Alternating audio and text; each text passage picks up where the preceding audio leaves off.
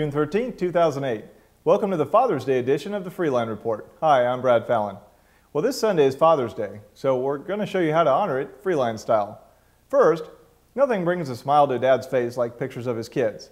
Well, this Father's Day, Shutterfly, a website dedicated to putting photos on just about anything, has a special offer for dads. Get 10 photo book pages for free, giving your dad a nice and glossy, high quality book of memories. Or even better, why not take him on a trip instead? You can use TravelMuse's new Inspiration Finder for ideas. Completely free, the Inspiration Finder can give you ideas for great trips that you never even heard of before. You can even plan travel and book the whole trip without leaving the website. While the Inspiration Finder is completely free, the actual trip costs are up to you.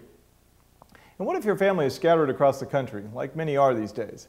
You can always use Paltalk Express to talk to your dad and get your brothers and sisters together online. It's got free video chat right in your web browser. No downloading required to connect you and your family one more time.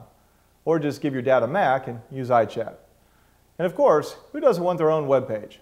You could always build one for dear old dad completely for free using the Weebly website. You don't even have to know how to make a web page to do it. That's where Weebly comes in. And it now supports AdSense in their custom pages, so you can get your dad some cash to boot. And even though you can't get him an iPhone 2.0 in time for Father's Day, make sure he grabs a copy of Apple's new MobileMe. It will help keep his computer, laptop, and iPhone all in sync. Calendars, address book, and email all connected. It works natively with both Mac and PCs using the software that he's already got installed. Plus, there's a 60 day free trial. So, there you have it.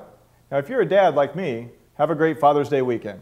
I'm Brad Fallon, and we'll be back Monday with more Web 2.0 news you can use in 2.0 minutes.